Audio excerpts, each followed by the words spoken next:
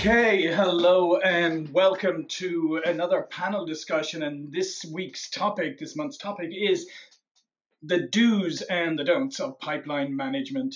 Uh, my name is John Golden from SalesPop Online Sales Magazine, that's salespop.net, and Pipeliner CRM, the world's most visual CRM. And today I've been joined by a fantastic panel of pipeline management experts who are going to discuss this topic um, with all of you. Now, if you have a question during the uh, during the panel discussion, please just pop it into the questions box, and I will. Uh, I will either answer it directly or I'll put it to the panel. Uh, so just put it in the questions box. And of course, you will also get a recording of this uh, of this panel discussion, uh, and uh, you can share that with your friends. So rather than me uh, introduce each of the, the panelists and read through their bios. I thought I'd give them a chance to introduce themselves. It's more interesting. So, um, Jason, why don't you give a short intro to who you are? Sure. Well, as it says on your screen, I'm a partner at Vantage Point. We primarily focus on uh, training sales managers. And in service of that, we do a lot of research into sales management issues. So, pipeline management, forecasting, coaching, um, some of the things we're going to talk about today. So, I'm happy for the opportunity to be here. Great. Thanks, Jason. And Judy. Hi, so I'm Judy Frank, and as you can see on the screen, I'm with uh, the Rain Group, just one of the top 20 sales training and advisory companies in the world. Excuse me. Um, we do a lot of research to understand how buyers are buying and why they buy and how they want to be sold to. And so as a result, we provide training for salespeople as well as sales managers to help them acquire new accounts and sell more to existing accounts. Perfect. And Bruce. Yeah, good afternoon, good morning, everybody. Uh, hello, Jason. Hello, Judy. Hello, John. Uh, Bruce Wedderburn, I'm head of sales for Integrity Solutions, and we're a 50 year organization celebrating our 50th year uh, in business this year. Um, I've been, as it says there on the screen, over 20 years in sales performance improvement. Um, and we help organizations win more customers, keep more customers, and grow their profitable revenues. So the subject of pipeline management is a way of keeping score of that. And so, really interested in today's discussion. Excellent. Thanks, Bruce. Okay, so what I thought I would do is I thought I would start off and maybe start off with a baseline definition of pipeline management. Because one thing that I found over the years is that sometimes pipeline management it can mean different things to different people, or sometimes people aren't exactly sure what is meant by pipeline management. I think everybody gets the overall concept, but uh, um, Jason, what would you, how would you define pipeline management? Well, this is a, a great question. We could have a whole conversation just on this topic, I think, of what is it. And so we, you know, we think of it in a couple ways. When we have a program, a training program that's very specifically focused on pipeline management, and actually putting a box around what it is is a critical thing to do. So we would say that to engage in pipeline management effectively, you need to uh, be in a situation where you're selling you know, multi-stage opportunities. Uh, a lot of people try to shove accounts and other things, territories into the pipeline. It never really works. And so, for it to be effective, we re- need to really be talking about a collection of opportunities that have a beginning and an end and steps along the way. And the second thing I'd say is uh, there's a challenge distinguishing it from forecasting because most people do use the pipeline to uh, create a forecast. And we would say that you know pipeline management is really the activity of building a healthy pipeline, and there are some metrics to talk about for that, and winning more of the deals that are in it. And um, you know, just distinguished from forecasting because you're not picking a date and a, and a probability of close and a size of the deal. Um, I think that's the biggest challenge in most people's heads is, separating pipeline management, which is about the management of opportunities from from forecasting. So, uh, as I said, it's a great question. I'm I'm, ha- I'm, looking forward to hearing the next two answers.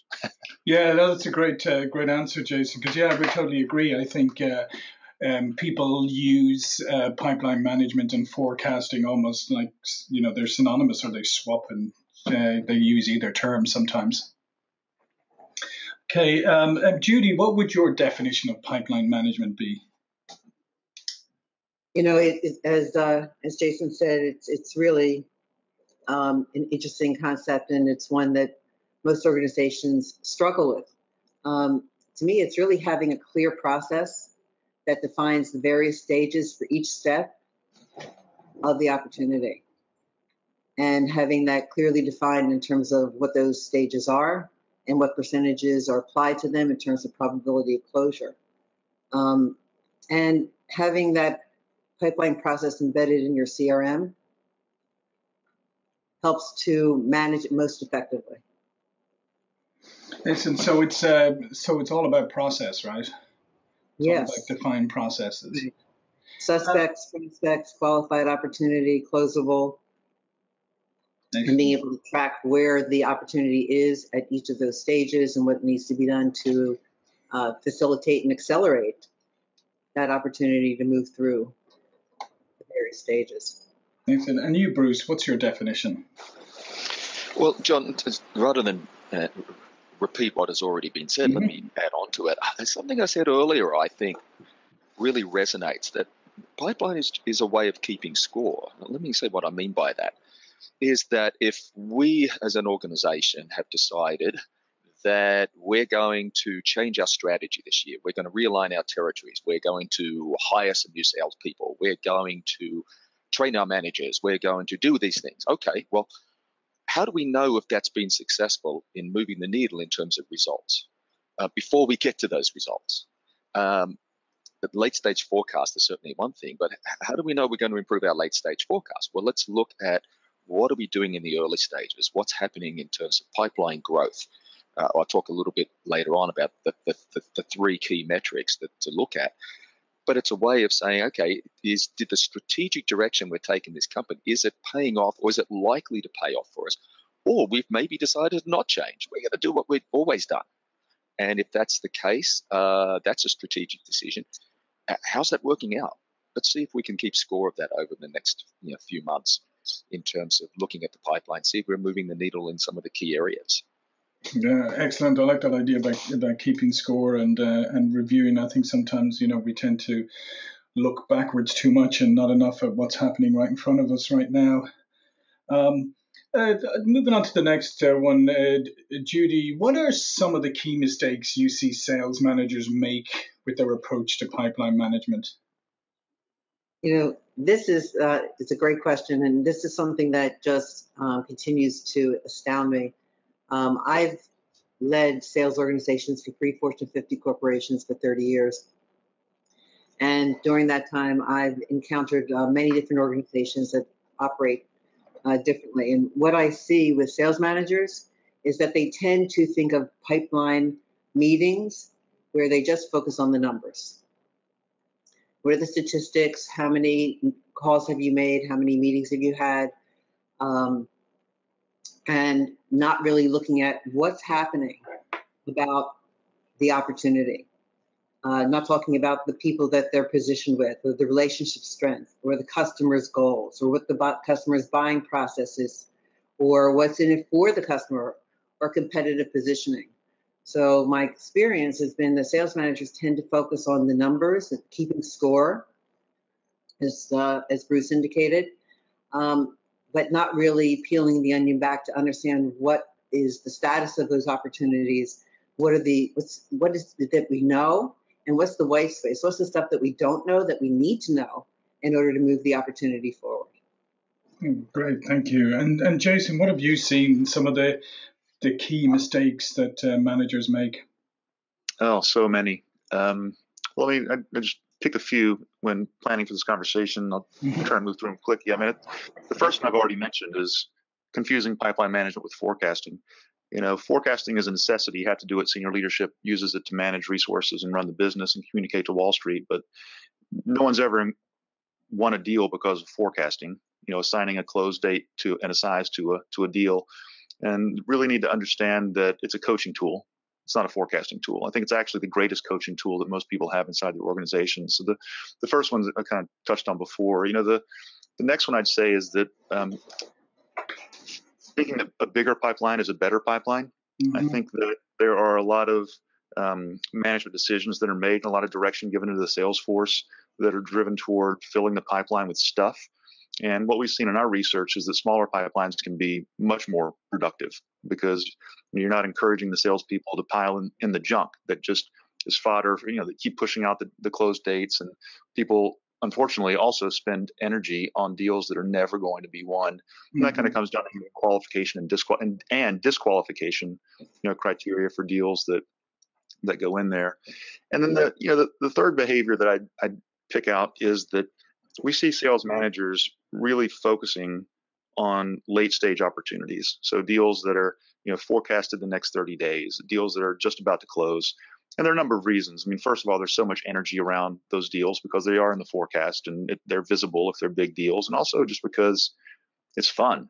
You know, all, mm-hmm. all all sales managers were successful salespeople at one time, and if they're honest, you know, they probably enjoyed selling more than more than they enjoy their their current role. And, and so this gravitation toward the end of the deal is a little sad because, you know, in most situations, especially if it's a very long sales cycle, the, the decision's probably been made.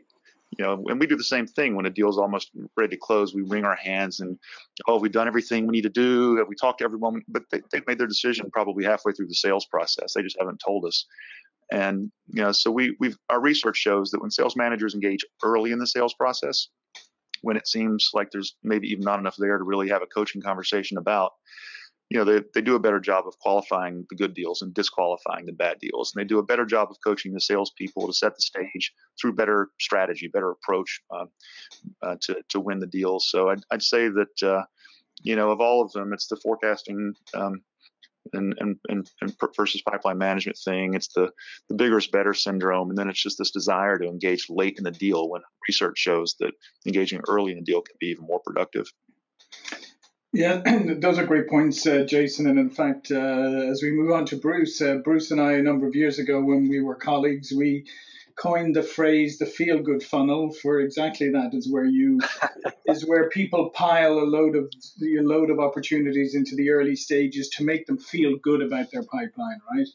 Even though the majority of them then fall out later. So um, uh, bruce what are some of the key mistakes you see sales managers make when it comes to pipeline management Well, you, you, just touched on one there, John. I remember the feel good funnel. and the the opposite of that was the realistic funnel. Mm-hmm. And uh, we, I remember applying that concept to a, um, a web services company. And uh, I remember going through and the, with the VP of sales and let's let's take a look at what is the feel good funnel. Let's take a look at what is a more realistic funnel if we apply some some qualifiers to it and I remember uh, it was about 50% of the value of that funnel dropped out. And um, when you applied a dose of reality to it, uh, which was great for him, but then he had to go and explain to the CEO why 50% of the pipeline dropped out. So that was it was a bit of an awkward conversation. Fortunately, CEO uh, understood that one. But I think, in addition to what's been told, a common factor is managers who get wedded to the, the CRM and they get wedded to an analytical discussion of of numbers and opportunities without realizing that, especially in the early stages, it's about the execution in front of the customer. That's what's going to drive, make or break your pipeline. So, so things like, does the customer clearly understand the contrast between their current situation and their desired situation? Does the does the customer clearly understand the cost of inaction or being staying staying with status quo? Uh, is the sales rep getting a commitment from the customer to move the opportunity forward? And what is it? And is that specific or is it vague? Uh, and do do they clearly understand who's what's the decision making team and what decisions are going to be made at what stage? They're some of the key questions that managers need to be asking in the early stages of the pipeline, not necessarily about when it's going to close and how much it's going to be worth. But a lot of that comes down to do the salespeople have the skills and the abilities to execute and get answers to those questions when the manager's not there? Uh, and that's frequently overlooked in term in this whole subject of pipeline management. Yeah, I think that's a great point, Bruce. Is like, are they are the opportunities coming in properly qualified, and as you say, have the salespeople executed um, sufficiently in order to qualify them? And I like what you said about when the sales manager's not around. Um, but just touching back for a moment, um, uh, Jason, just on the same subject, um, you know, both Bruce, Bruce, just gave that example about the web services company. When you work with organizations as well, is how difficult is it to get them to reduce their pipeline to be realistic, as opposed to having a bloated one that maybe makes them feel better? Well, it, it's not that hard. I mean, most people want to do the right things, and once it's pointed out that they're doing something that's counterproductive, people will pretty quickly adopt it. And you know, as Judy said, a lot of this comes down to putting process in place. And so, for instance, we work with a um, part of our program or pipeline coaching program, which I mentioned earlier, is is how to identify the right size of a pipeline. And, and you know, the teaching is that there's a right size for every salesperson, and it's not always 3x. Mm-hmm. You know, so that 3x comes from some organizational analysis that said we win a third of our pipeline, so we need three times our pipeline in there. But in reality, a new sales rep may only win 15% of the pipeline, and an experienced sales rep who's got a good territory and the whole thing may may win 50% of their stuff, and a 2x pipeline might be fine for them. And and so there are kind of insights like that that once people are exposed to them, they go, yeah, you know, you're right. A, new salesperson does need a bigger pipeline than an experienced one, or or when point out point out the early stage intervention versus the late stage, you know, people go, yeah, you're right. I should do that more. so it's it's um I don't think it's as much. I think, as I said, people want to do the right things. People just aren't taught to do the right things, and there's just you know the, the there are assumptions that people live with, like bigger is better, mm-hmm. and uh, and it, it, they're they're counterproductive. So our, you know, I often think we're more of an executive education group than a training group because we're really just exposing people to frameworks and decision making um, approaches that that lead to better management. And you know, what, what we do is a lot less about muscle memory and and so it's not it's not as hard as you would think once you know what you want to happen. Makes sense.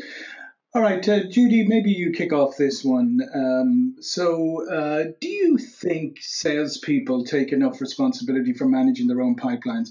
Because we've been talking a lot about sales managers, and rightly so. Uh, but what about uh, salespeople managing their own pipelines? Because I think sometimes we don't, um, or salespeople don't take enough accountability. You know, in today's world, it's very interesting. Um, when I work with sales organizations, they typically look to marketing because marketing has been doing the heavy lifting and they're the ones who are running the campaigns and then uh, the inside sales team oftentimes is uh, fielding the inbound leads and qualifying them and then passing them to the outbound team. Um, and the, and now what many organizations are recognizing is that's just not enough.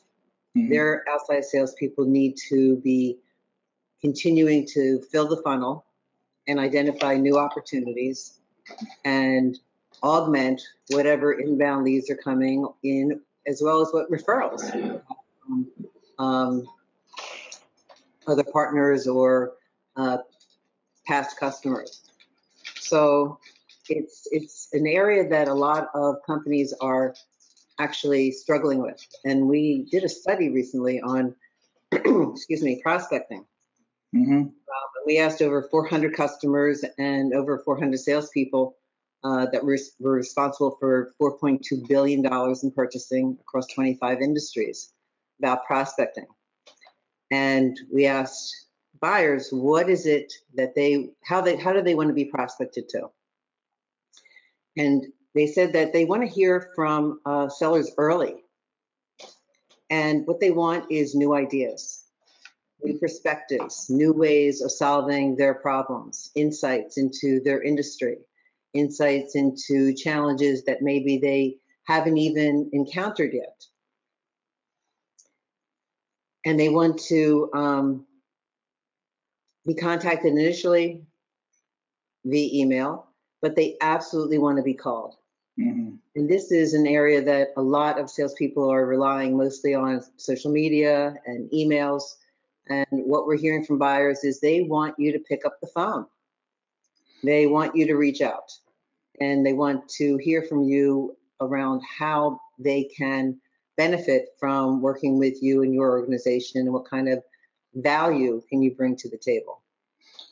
Excellent. So I think it's important that the salesperson takes responsibility for creating that target list and having a, um, a cadence and a, uh, a campaign, a multi-touch, multimodal campaign, where they're reaching out to prospects um, with a with valuable ideas and, and, best practices, as well as um, a cadence to how they're going to be reaching out to them and have that organized in a way that uh, focuses on what we call the greatest impact activities, where they're going to get the greatest return on their investment of time and Yeah. action.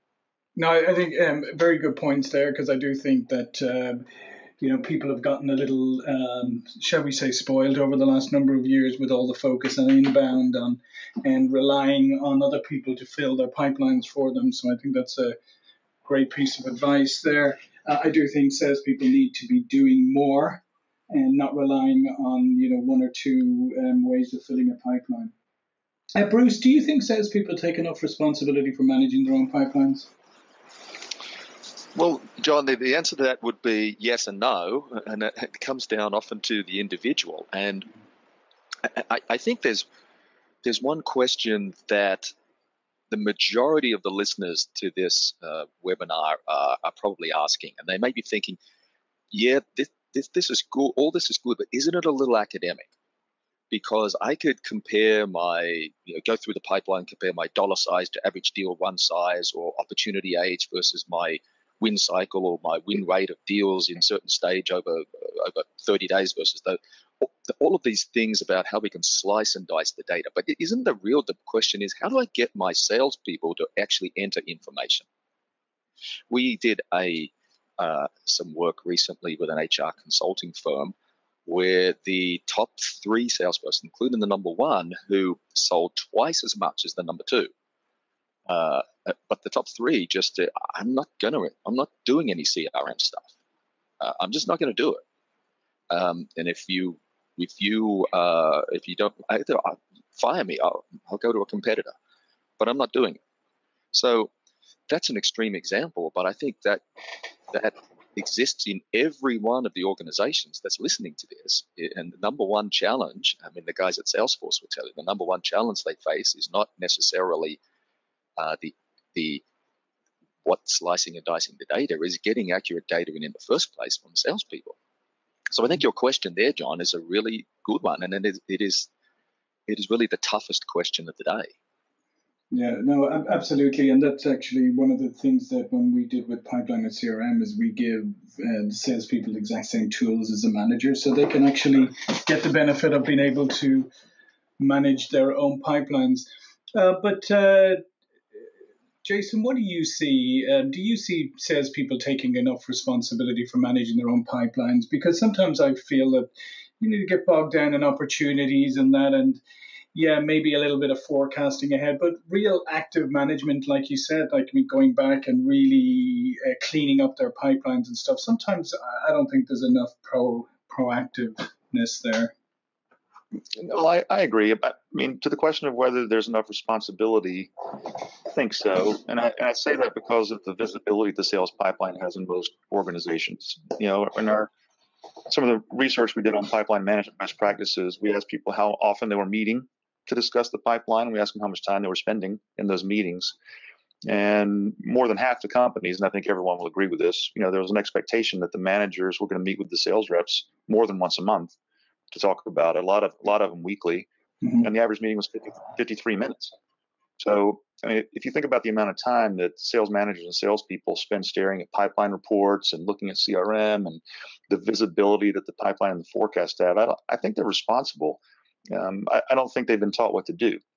Mm-hmm. And as, you know, as I said before, there there's a lot of attention on it, but you know the attention is feeding the pipeline, you know, growing it, making it big enough and you know the the pressures on the sales managers to help people win deals which means they gravitate toward the deals that are just about to close where maybe or maybe they don't have impact. So i think there's responsibility. I think they're they're, they're held accountable to it because of its visibility and the way it's measured and reported. You know I, I think where they fall down is they literally just don't know what to do and they're operating with some gut assumptions that make sense. Like why wouldn't bigger be better Mm-hmm. And if my, if my role is to help salespeople win deals, why wouldn't I be there when the deal is won or lost? You know, it's it's intuitive, but but but counterproductive in, in many cases, not in every cases. But we, we see a lot of deviant behavior that's driven by people trying to do the obvious thing. Mm-hmm. Yeah, no, absolutely. I think there's a lot of things that um, are, are you know seem intuitive, but um, but they're not the right behavior, as you say. And I do and I do totally agree with you. I think sometimes it's because people aren't taught what the right behaviors are, so there's not enough investment in that piece. Um, just a quick comment from one of our uh, our viewers today, listeners, um, Vicky. She just wanted to say thank you, Judy, for the reminder to pick up the phone. Human, she said, human contact is my best action. Yeah, I couldn't agree with you more it's amazing how that phone thing has become so you know anathema to some people. Okay, so um, let's let's get down let's let's get down into some practical uh, pieces here. Maybe Bruce kick off this. What what are some best practices that you would recommend when it comes to pipeline management? I think a really key one, John, is that it's very easy for managers, and this is a a big challenge we see with the emerging role of sales enablement. But it's a it, it, it, we can be seduced into overcomplicating what we're trying to measure, and and that's one of the things that drives a low adoption of uh, of many CRMs and pipeline reports from salespeople. Uh, it's they say it's just too complex. I don't really understand it. It really comes down from a management perspective of, a few simple questions. To reach our goals this year, do we have enough deals in the pipeline? Are the deals of a sufficient state, sufficient size? And are they progressing at the pace we need them to progress uh, through the pipeline and into the forecast? And where are we seeing the gaps? Where are we seeing the the deals breaking down? Uh, is there any consistency either by rep or by division or across the organization? And I think that the one of the best practices when it comes to training people around this is it, it, can be seducing to think, well, we just need to be really zero focused on plugging the holes. What I mean by that, mm-hmm. we've got we've got people who we see, you know, let me pick out some names. We've got Sally over here and she tends to lose deals more at stage three. So therefore, she needs an online module around how to present better. When we've got Dave, he tends to lose deals very early on, and they don't progress. So he needs something on just how to ask some more in-depth questions and develop the need. Uh, but it's like plugging the dike in, in a in a uh, in a dam. You, you put your finger in one, and another comes out. So people need much more salespeople need to be able to execute well across all stages and trying to to be you know quote targeted in training interventions to help them is generally we're seeing uh, a, a, huge time waster for management leadership teams. So I think there's a couple of best practices there uh, in terms of simplicity and in terms of more holistic skill development to help salespeople execute face to face with the customer, which is really the biggest driver of pipeline growth. Yeah, no, I, I couldn't re- agree more. Um, one of the things that we see a lot of, obviously, you know, you know, we're a CRM company, but what we see a lot of is that there's so many sales tools and point solutions coming out that people can fall into the shiny new t- tool syndrome, and before you know it, uh, they're trying to find a tool to solve every little you know problem as opposed to you know just you, perhaps using the tools that they have to more effect and being more strategic in their approach. Um, how about you, Judy? What are some best practices that you would recommend when it comes to pipeline management? Yeah, I really liked uh, a couple of points that uh, we just heard. Um, so I want to kind of uh, expand on, on those a bit because you know, I don't want to stay focused just on the numbers in terms of um, you know, how many deals are in the pipeline and what are the volume indicators and excuse me, what are the dashboards showing. But I think what's really important is to have account plans. Um, our research has shown that having account plans that show where your position within the organization, what the opportunities are, what are the strategies that you're going to employ, who are you going to need to be positioned with in order to move the opportunities forward, what types of resources are you going to require from the organization in order to uh, enable you to be successful. Um, people who have account plans are typically able to generate in excess of 30 to 40% more opportunities within an account and move them to closure in a short period of time. The other best practice is um, training the team on how to prospect. I mean, actually, how to write emails so that you're answering questions that the customers want to hear, you know, and that you need to know. Why now? Why do, should they take action now? Um, why act? What is it that about the situation, the problem that they're having um, that's compelling them to move forward to actually explore a solution? And then why should they choose you?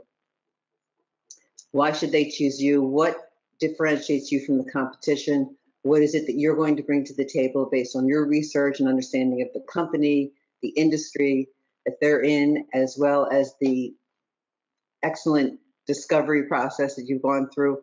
How are you going to be helping them, and why should they trust you that you're going to be able to deliver on the promise? So, why now? Why act? Why tr- why trust and why us? And then the third best practice to me is all around productivity. Mm-hmm. It's really about helping people to focus on doing the right activities that will produce the greatest return on their on their investment. And we actually um, also done a study recently and and found that it's about motivation. And motivation comes in two forms. Of course, there's the intrinsic motivation, you know, the fire in the belly, and extrinsic. So we're talking about the intrinsic. How can you create higher levels of motivation for people where they are wanting to you know get their get up and go going um, and we found that things like task clarity is really important uh, i think it was mentioned that you know they don't know what to do so being very clear about what are the things that they need to do in order to move the opportunity forward are, is critical and something as subtle as uh, having a winner's mindset where you actually, you know, are doing self-talk and creating um, confidence in terms of what it, you know, how you're coming across, as well as what your intentions are for the day or for that call or for that meeting. Mm-hmm. And then, of course, it's all about um, controlling time. Right. Time is the one thing that we can't get more of. So it's really being obsessive around how to control our time. And so it's about scheduling time on your calendar for thinking, scheduling time on your calendar for prospecting, scheduling time on your calendar to do research.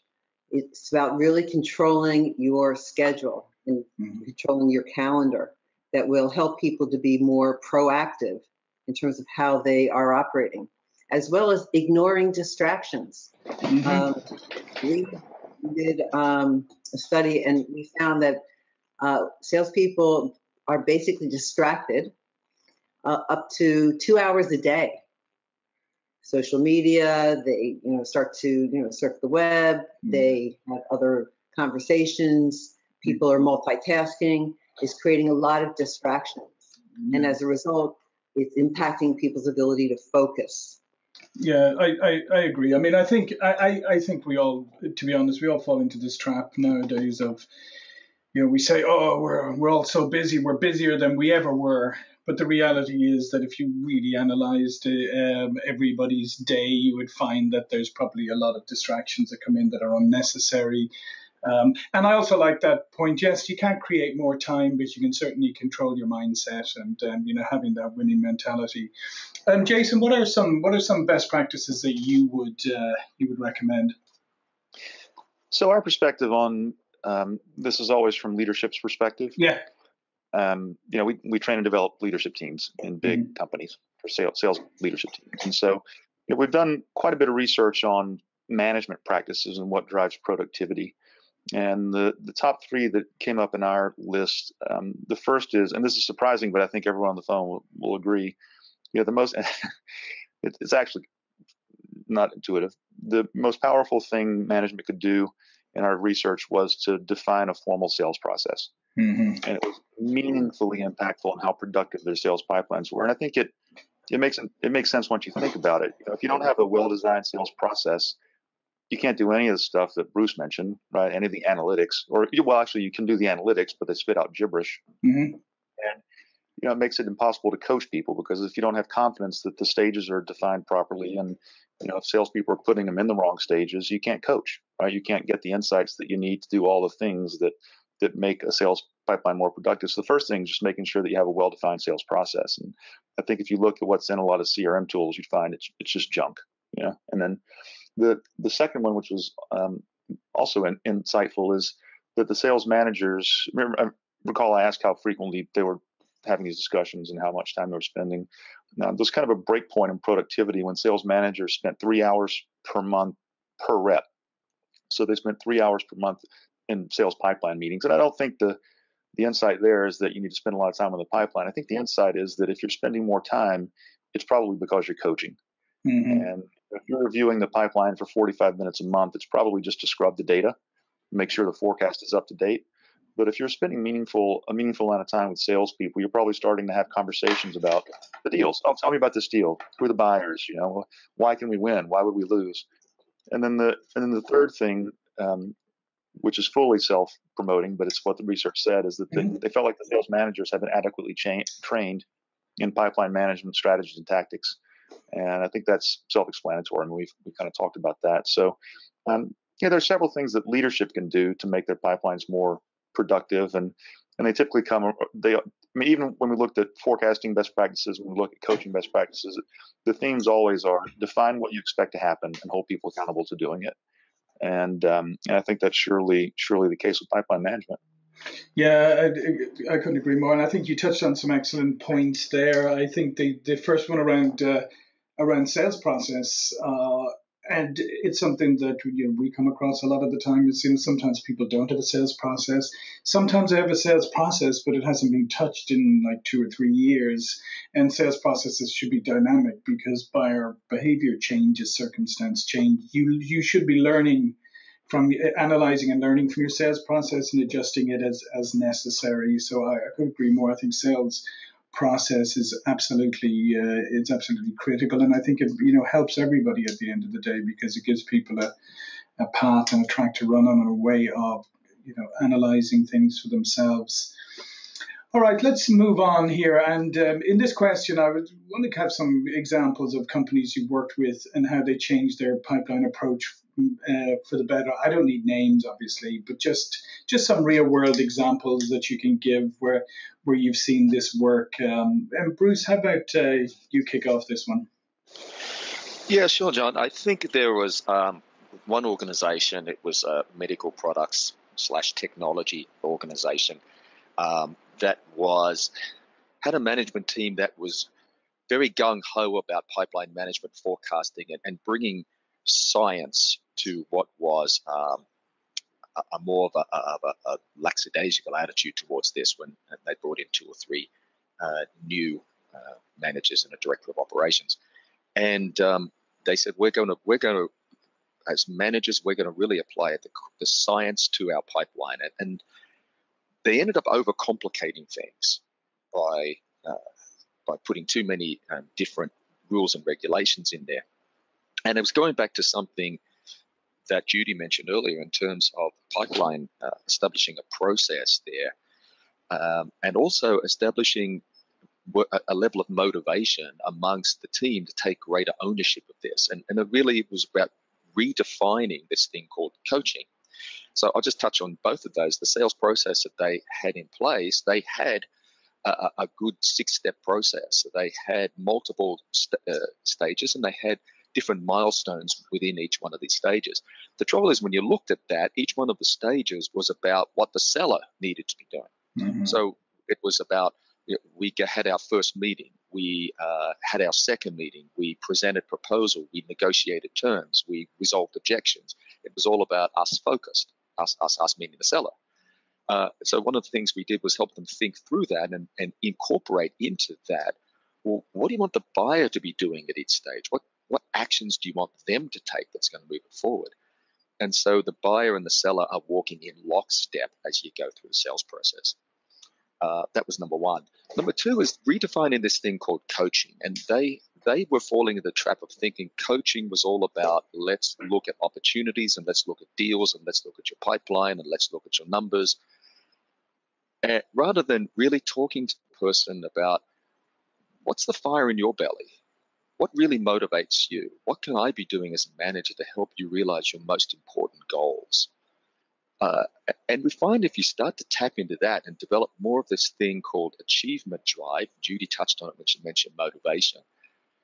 And a lot of the other things that sales managers get need to continually manage their salespeople, they start to take care of themselves. Salespeople start to enter information a little bit more. They start to do those things. They start to think about training. They start to open up and, and take a good look at their own skills and abilities. So I think there's two that for that one organization, those two things, one about putting buyer commitments in their sales process, but also rethinking this thing called coaching that it's not about pipeline management. It's not about looking at numbers or deals. It's really about looking at the person, building and developing them. Those were two things that made a huge difference.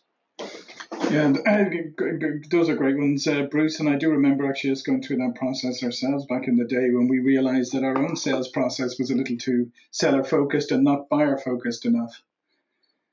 Yeah, and, and if you remember, John, as in every organization, sometimes there's pushback to that because there's mm. comfort in knowing what the salesperson is doing, what we're doing, but what the sale, what the customer is doing, sometimes feels a little bit out of control. Well, we don't really know.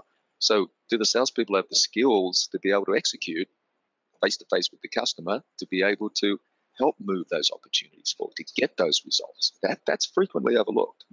Absolutely. And and Jason, what are some uh, real world examples that you have of how you've worked with companies to, and what the what impact the changes have made? Well, the one I'm thinking about um, was a division of GE, and I can say it because they've presented this case study with us in public before at mm-hmm. conferences and stuff. And um, so they brought us in to work with their sales managers, and we asked, you know, kind of what's the so why?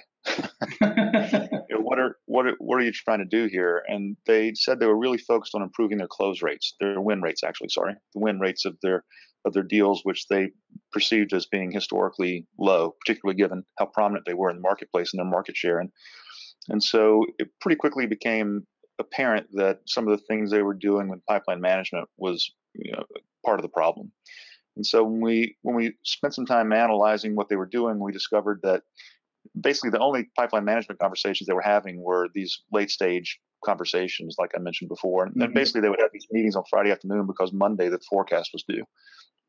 And um, so you know we we helped them reach the conclusion, and we used their own data to demonstrate that a couple of sales managers whose people had very small pipelines were actually outselling people with very large pipelines.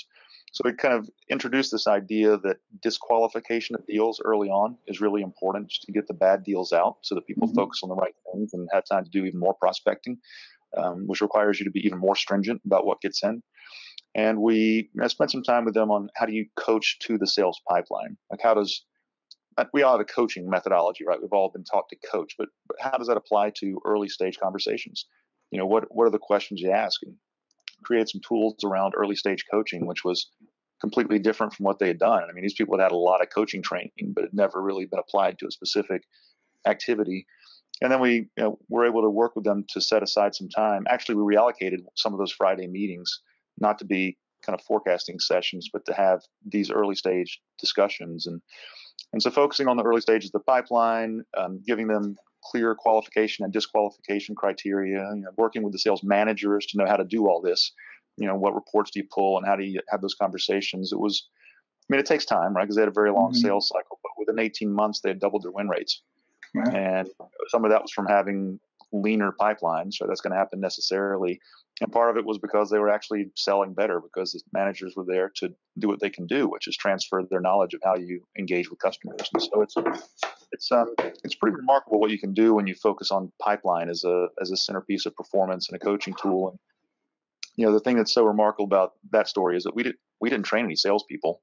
Like literally, we never trained a, a single salesperson. I don't know if we even spoke to a salesperson you know but but when your sales managers know what to do and i hold them accountable for pipeline management when mm-hmm. you're you know when your when your sales managers know what to do your sales people know what to do and it's a um, it's an interesting way to interesting way to think about the task from a sales enablement, sales development perspective.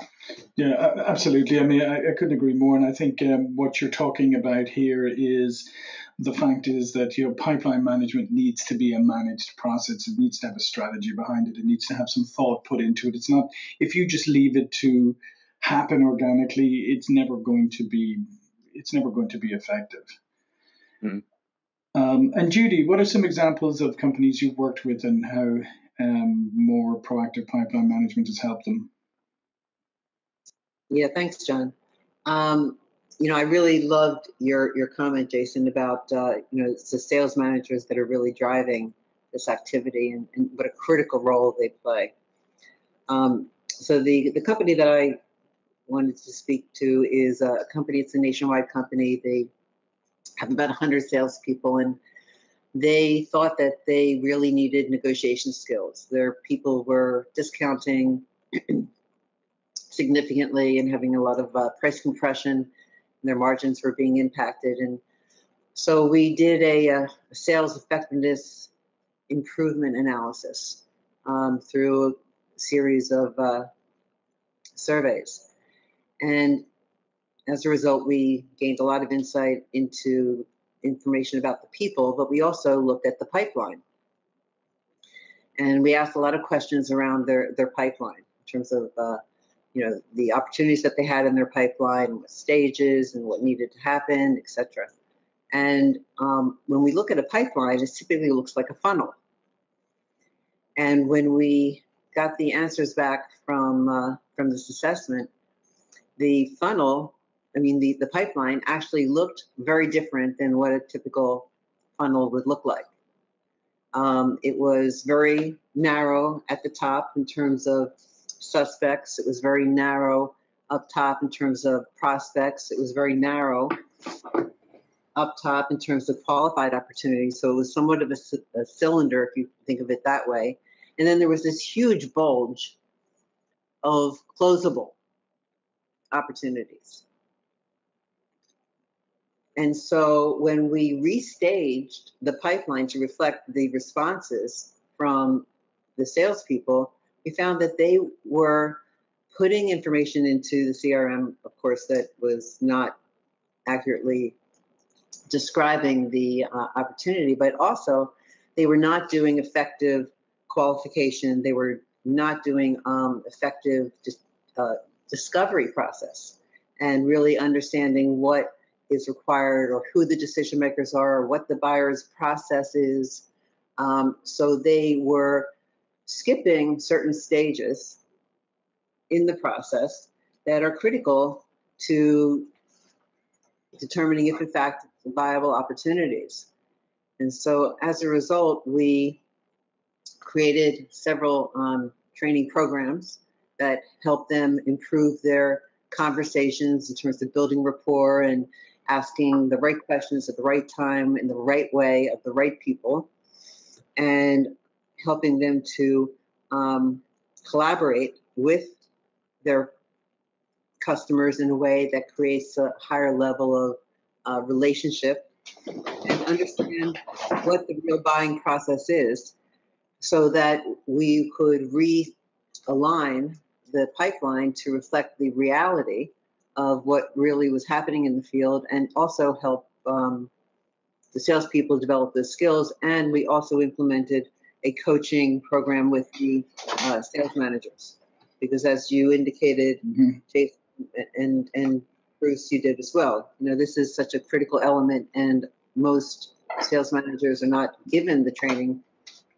in terms of how to coach people to uh, improve performance, take care of themselves, manage their time more effectively, and execute. Mm-hmm. Um, as a result of teaching them how to coach and establishing clear guidelines and training their people, um, they were able to realize a 25% increase in sales in six months. Yeah. What what I love about all of these uh, examples that all of you have given, and I think all of the information that you have given during this whole um, discussion, is that there's a lot of fundamental quite simple. I don't mean, you know, simple doesn't always equate to easy, but simple things that that if they're applied properly, if they're given the proper attention, can make an outsized difference. And and we got a couple of comments from people who are watching um, who've said the same thing. That you know, great practical uh, advice, and the fact that it is uh, a lot of it is very simple and almost common sense. But we know common sense isn't that common, which is always a problem. All right. Well, listen, thanks everybody for the discussion today. I just want to give you a quick moment, uh, maybe start with you, Jason, just remind everybody how they can contact you.